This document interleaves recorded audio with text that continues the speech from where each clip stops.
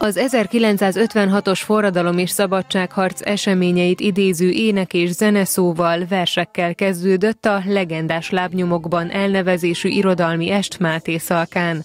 A rendezvényen Kovács Sándor országgyűlési képviselő azt mondta, fontos, hogy a fiatalok is megismerjék a hat évtizeddel ezelőtti történéseket és hősöket. A politikus szerint egy-egy ilyen est találkozó célja többek között a közös emlékezés. Emlékezés azokra a hősökre, arra a pillanatra, amikor egy társadalom egyszerre dobbantotta meg a szívét, hiányzott neki valamit, amit én úgy hívok, hogy identitás, nemzeti identitás.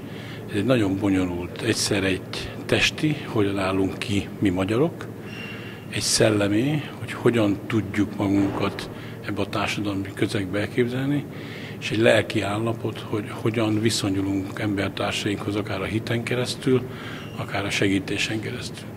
Azt gondolom, hogy a magyar társadalom identitásában egy nemzeti alapú társadalom, és ezt az identitást egy művileg eh, megszervezett kommunisták által irányított állampárt akarta irányítani.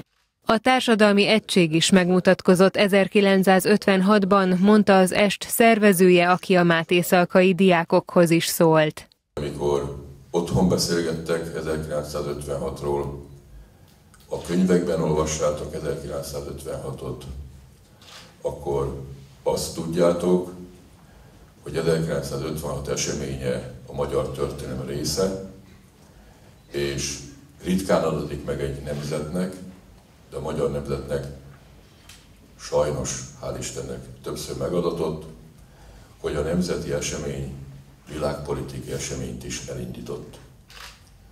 Legyetek erre büszke, és akár baráti társaságban, akár később családatokban ez a esemény megjelenítésre kerül, akkor egy kérésem van, nézzetek utána, és adjátok tovább.